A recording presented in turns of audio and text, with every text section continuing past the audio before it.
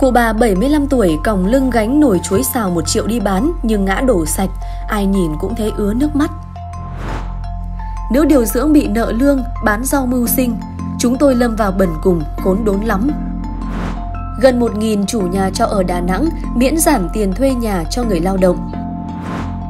Ngày mai sẽ diễn ra nguyệt thực một phần dài nhất thế kỷ. Quý vị đang theo dõi tin tức được cập nhật 24 giờ trên kênh tin tức Việt. Những tin tức nóng hổi nhất sẽ được gửi tới quý vị ngay sau đây.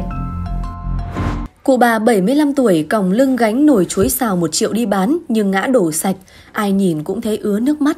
Suốt quãng thời gian đi học và lê la ăn vặt từ xung quanh cổng trường đến đầu con hẻm trước nhà, hẳn ai cũng từng có những ký ức quen thuộc về ông Năm, bà Tám, những người bán hàng ở tuổi đã cao nhưng vẫn ngày ngày đẩy chiếc xe hàng đi bán. Cũng từ đó đủ mọi câu chuyện khiến chúng ta phải sững lại trước những hoàn cảnh của họ. Hay đôi khi lại là những tình huống ứa nước mắt như thế này. Theo chia sẻ của người đăng tải clip, bà cụ trong đoạn video đã trên 75 tuổi, một mình gánh nồi chuối xào đi bán. Nhưng không may tới một đoạn đường, bà bị vấp ngã nên đã đổ sạch nồi chuối trị giá 1 triệu. Càng khiến người xem thương hơn chính là bộ quần áo của bà cũng đã dính đầy chuối. Nhiều cư dân mạng vô cùng lo lắng và hỏi địa chỉ để giúp đỡ bà. Cho mình xin địa chỉ bà hay bán được không ạ? Thương bà quá. Bà có bị làm sao không ạ? Nồi chuối mới nấu xong, không biết có bị bỏng không nữa. Thương bà. Một số cư dân mạng có chia sẻ rằng, bà bán hàng ở đoạn cầu Tránh Hưng, quận 8 rồi đi dọc lên cầu Nguyễn Tri Phương. Bà thường gánh đi bán vào khoảng 2-3 giờ hàng ngày. Một số người khác cũng xác nhận điều này Mọi người đều nói sẽ qua đây để mua ủng hộ cho bà cụ. Mời quý vị cùng đến với thông tin kế tiếp. Nữ điều dưỡng bị nợ lương, bán rau mưu sinh. Chúng tôi lâm vào bẩn cùng, khốn đốn lắm. Tranh thủ sau giờ làm, chị Huyền cùng chồng trải vài ba miếng xốp nhỏ, xếp rau, trứng, bưởi ở quê, bán cho những người đi đường, kiếm thêm thu nhập. Giữa thời tiết chuyển đông, gió xe lạnh, trên con phố Phan Đình Giót tại quận Hà Đông, Hà Nội, bóng dáng người phụ nữ 30 tuổi nhỏ nhắn xếp từng mớ rau ế vào túi ni lông để dọn hàng.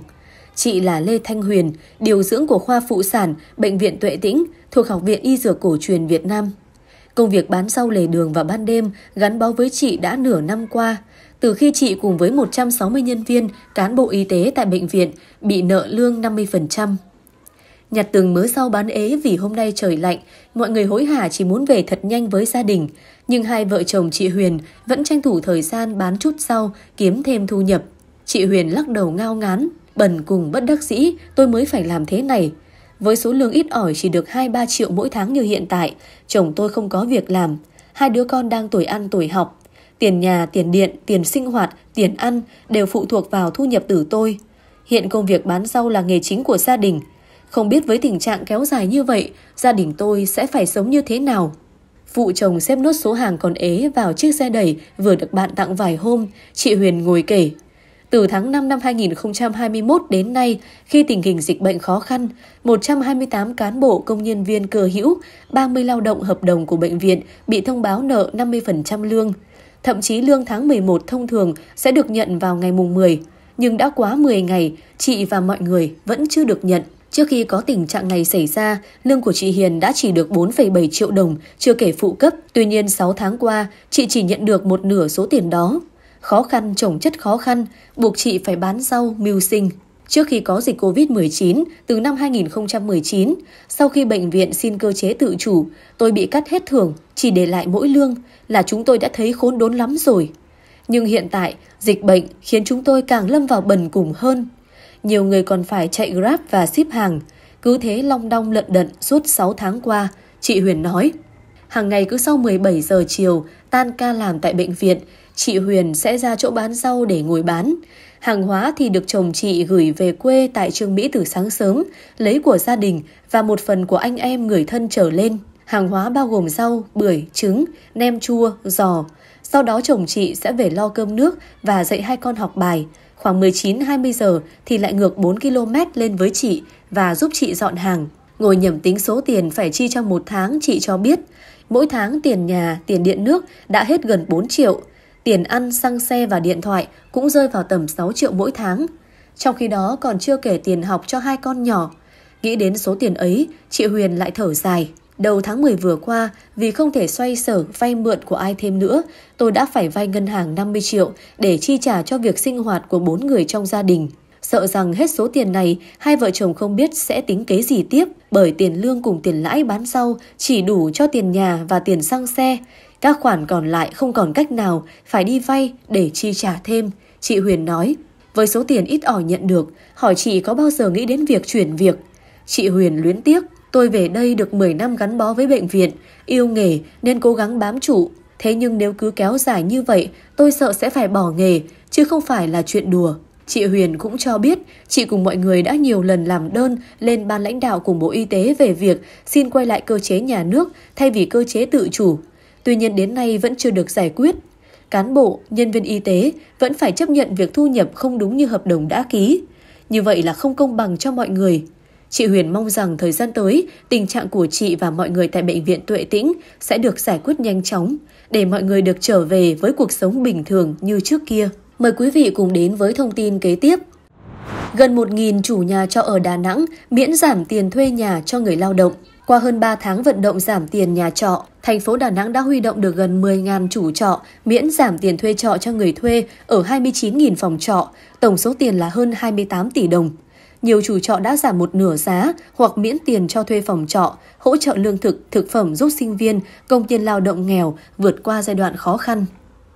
Ông Nguyễn Thanh Dũng, tổ trưởng tổ tự quản số 1, phường Hòa Khánh Bắc, quận Liên Triểu, thành phố Đà Nẵng, được tuyên dương lần này, đã chia sẻ rất tự hào vì mình có một phần đóng góp giúp cho những người khó khăn.